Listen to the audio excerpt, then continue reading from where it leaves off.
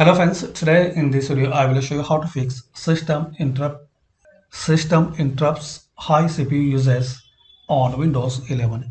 So guys, if you want to fix and resolve system interrupts, so follow some easy steps.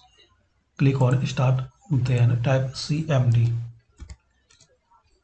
Right click on command prompt, run as administrator. It will ask permission, so click on yes now here type this command line chkdsk space slash r. Then press enter. Now guys it need restart your laptop. So here type y capital. Then press enter.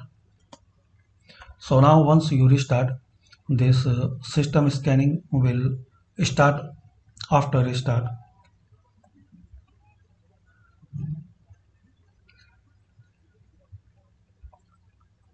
So type here y and this volume will be checked the next time the system restarts. So close it and restart.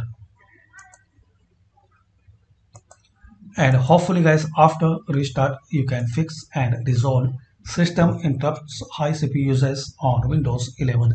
Thanks for watching guys. Please comment this method work for you or not.